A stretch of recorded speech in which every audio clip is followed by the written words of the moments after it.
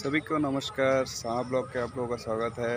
ये मेरा first blog है कि तो आप लोग सपोर्ट करिए, आप लोग सपोर्ट करेंगे, तभी तो मैं आगे बढ़ पाऊँगा। आप लोगों का सपोर्ट के बिना मैं कुछ नहीं कर सकता हूँ। तो प्लीज़ लाइक, शेयर, सब्सक्राइब कर दीजिएगा।